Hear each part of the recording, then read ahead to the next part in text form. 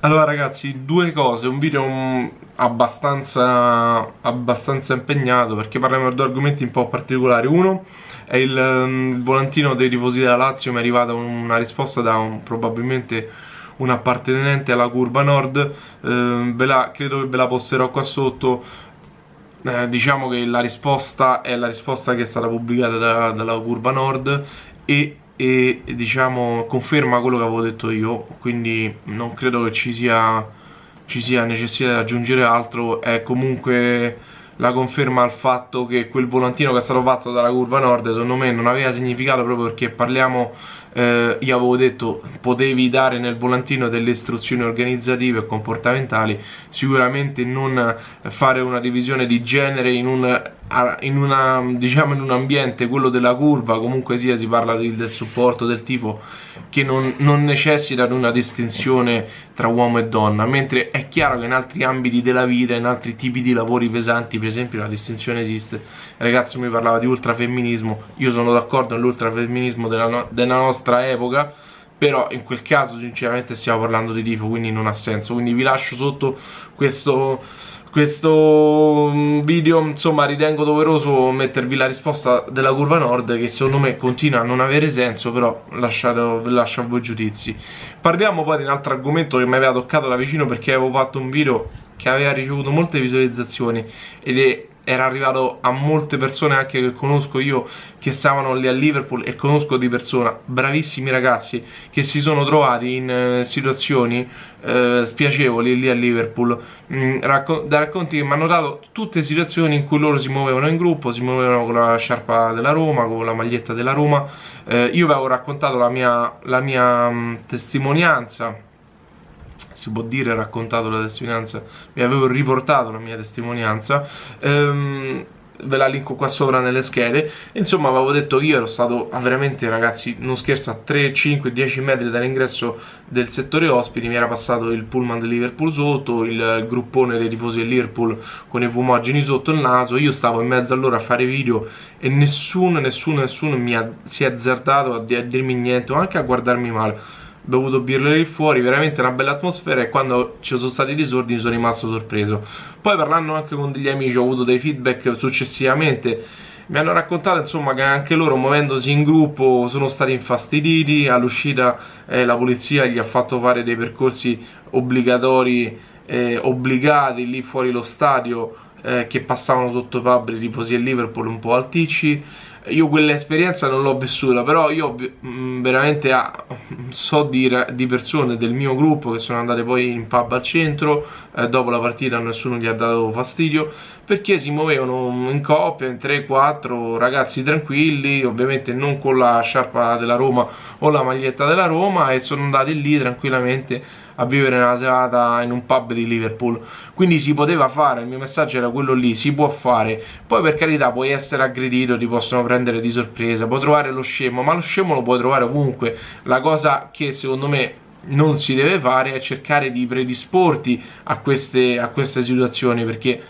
non hai magari la colpa, non è la colpa tua, però tu non ti predisporre ad uno scontro con atteggiamenti aggressivi, non andare in grupponi eh, facendo cori della Roma, perché lo sai che lo scemo lo puoi trovare, no? Questo era il messaggio del mio video. Oggi ci troviamo qui a commentare una sentenza che secondo me e dal punto di vista di un cittadino italiano è sicuramente esagerata, perché questo tifoso della Roma è stato condannato per aver, per aver tirato su una cinta, praticamente essersi tolto una cinta davanti a un, a un bar in mezzo ad altri tifosi, altri a volto coperto, non li hanno identificati, lui ha ripreso dalle telecamere, non c'entra niente con l'aggressione a Sean Cox, per quanto si, si, era poi, credo, diffusa proprio su di lui la notizia che fosse uno di quelli che ha aggredito Sean Cox, ma non è assolutamente vero. Eh, la questione di Sean Cox è, è rimasta così proprio... No, non si è capito chi è stato, chi non è stato, tutti questi famigirati video che dovevano girare non si sono mai non hanno mai portato a, ad un chiarimento delle indagini e lì le indagini sono abbastanza rapide, non sono come in Italia vanno avanti per 15 anni e poi ti prescrivono, lì le indagini le fanno in 2, 3, 4, 5 mesi e poi si va a processo.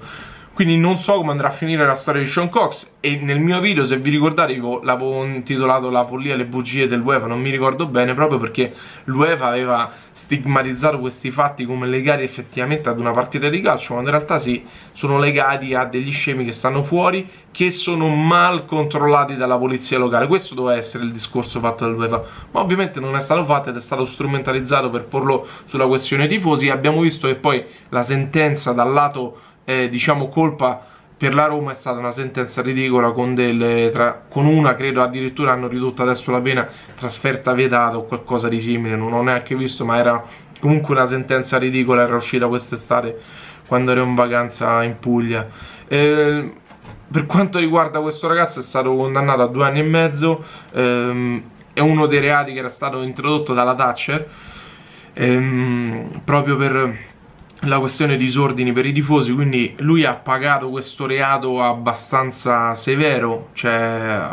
questa pena severa ragazzi, perché è una pena severa, cioè due anni e mezzo ragazzi non sono, cioè due anni e mezzo per aver probabilmente neanche dato un colpo a nessuno, ma semplicemente di essersi tirato fuori con un atteggiamento minaccioso la cinta fuori da un pub. Eh, bisogna stare attenti perché quando si va in altri paesi ragazzi ci sono delle norme che non si conoscono. E io non conosco il diritto penale eh, inglese però io cerco di stare alla ragga da qualsiasi, da qualsiasi relato perché lì la polizia ragazzi non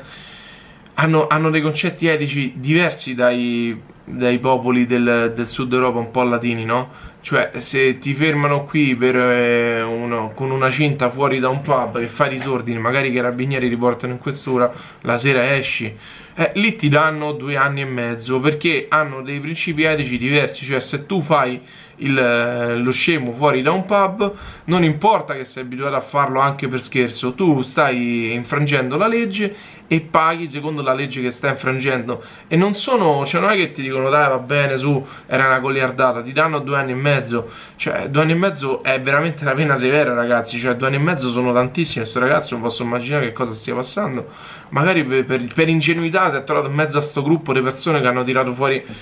tutte quante, oh namo, famo, e magari lui era quello che manco voleva fare niente, quindi per quello io dico, cioè, levatevi dai gruppi, eh, in gruppone, voi mi dite, ah no, ma io devo stare con amici miei, in gruppo organizzato, ragazzi, cioè andate tranquilli, le trasferte si possono fare tranquille, io l'ho fatta tranquillo, ragazzi,